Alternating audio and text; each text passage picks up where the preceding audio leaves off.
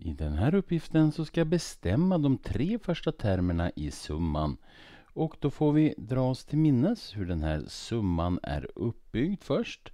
Och då är det den första termen, parentes, kvoten upphöjt till n minus 1 delat med k minus 1 så här. Och då avläser jag i det här uttrycket att 5 mitt A här, det är 5 och K-värdet är lika med 0,8. Så mitt första tal är då 5.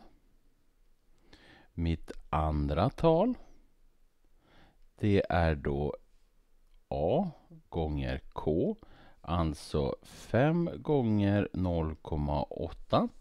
Och det här borde bli 4, men vi kan ju ta och slå det. Så jag tar 5 gånger 0,8. Kvällen är ganska sen.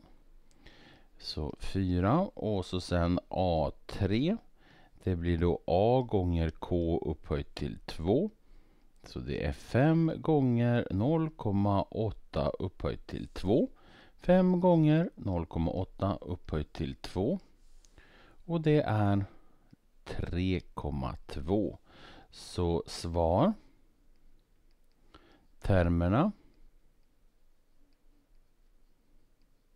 är eh, 5, 4 och 3,2.